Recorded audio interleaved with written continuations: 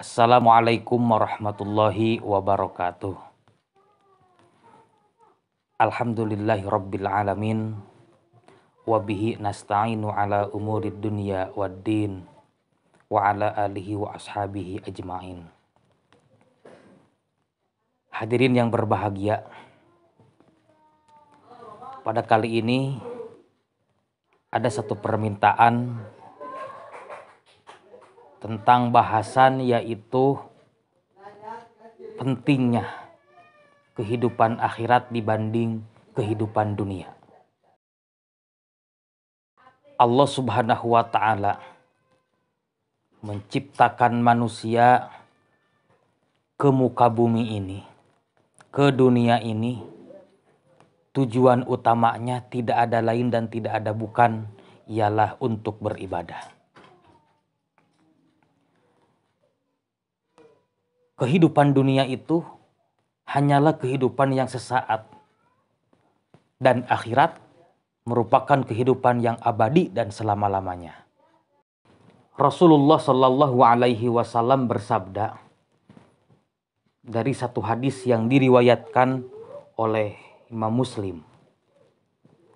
Haddasana Qaisun Kola Sami'tu Mustauridan Akhok Bani Pihrin yakulu.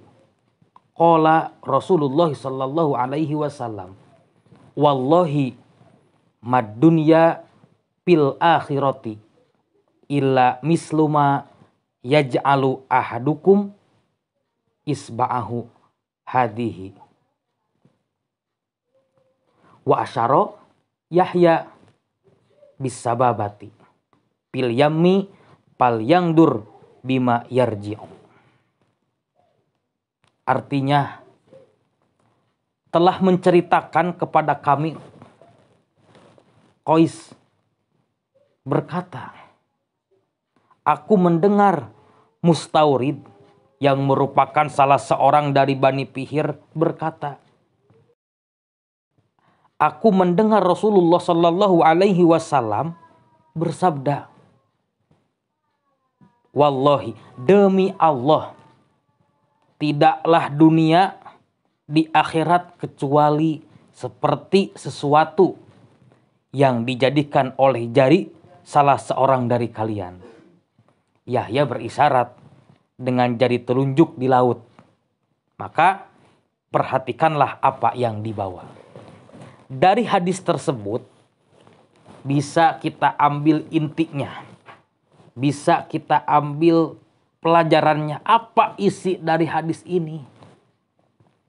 Hadis ini isinya ialah bahwa kita selaku umat muslim, bahwa kita selaku orang yang beriman, jangan sampai terlena, terlelap dengan kehidupan dunia yang sifatnya hanya sementara.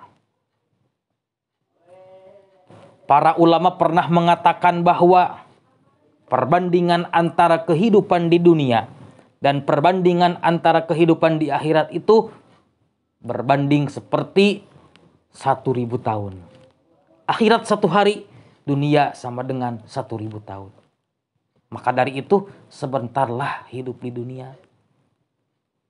Oleh karena itu kita harus bisa memanfaatkan kehidupan yang sangat sebentar ini di dunia untuk melakukan hal-hal yang baik untuk melakukan amal-amal soleh bekal nanti di akhirat yang akan hidup selama-lamanya.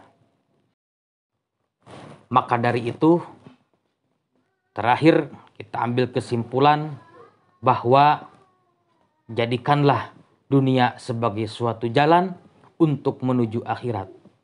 Jadikanlah dunia sebagai bekal untuk kita raih nanti di akhirat supaya kita mendapatkan keselamatan, mendapatkan kebahagiaan di hidup yang selama-lamanya nanti di akhirat. Wallahu a'lam bishawab. Terima kasih yang sudah selalu setia menonton di Lutfi SM Channel. Mohon maaf atas segala kekurangannya. Wassalamualaikum warahmatullahi wabarakatuh.